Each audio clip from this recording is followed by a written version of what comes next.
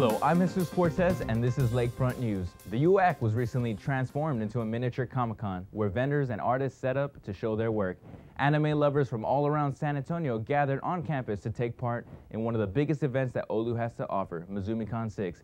The event lasted from 10 a.m. to midnight. People dressed up as their favorite anime characters from popular graphic novels, video games, and movies. More than 40 events took place throughout the day. Panel discussions were held around the campus, and guests were able to experience a variety of food in the mall area. And Mizuumi-Con Harlem Shake even broke out.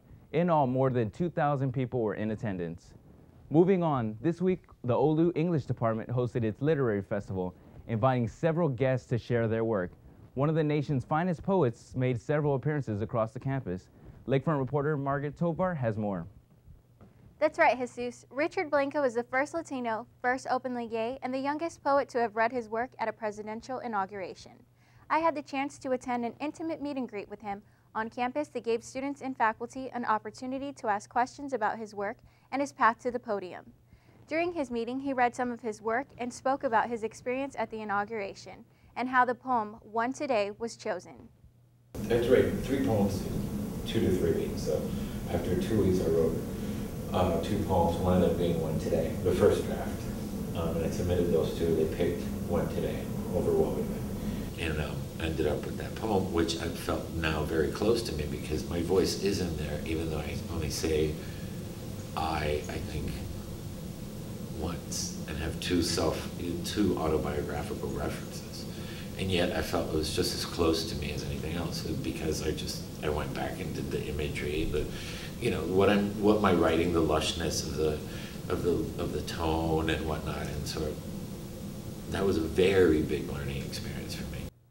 He said he was made in Cuba, assembled in Spain, and imported to the United States, and that everyone is born into a story. He shared his insight on the subject.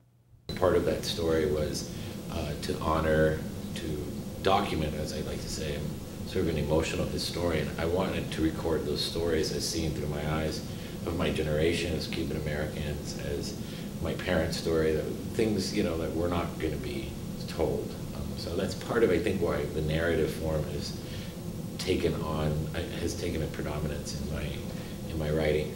Blanco also shared a reading in the Thiry Auditorium on Tuesday and gave students tips on how to better their work.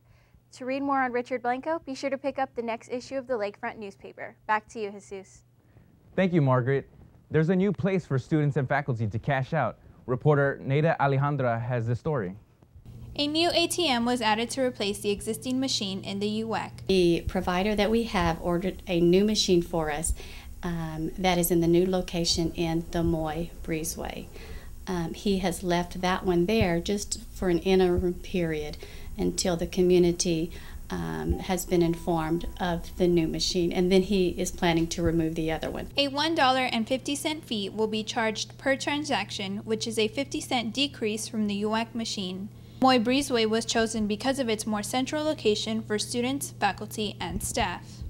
Um, we've had a lot of students and, and faculty and staff have a harder time to get over to the UAC if they're on the other side of the campus where, where the residence halls are. And so we've had many requests over the past couple of years to move it to a more central location. The ATM is accessible any time of the day as long as the buildings are open. Neda Alejandra, Lakefront News. With the semester rapidly coming to an end, it is about time for students to register for the upcoming fall semester. Seniors will be allowed to register uh, for classes April 15th, juniors on the 16th, and everyone else on the 17th. This week, SGA will be holding elections. Junior Ashley Guevara is running unopposed for the position of president, and sophomore Christian Ortiz and junior Tahi Contreras are duking it out for VP. That's going to do it for this week's Lakefront News. If you have any story ideas, you can visit our Facebook page. You can check out other newscasts at lakefrontsa.com. Thanks for joining us, and you stay classy, Olu.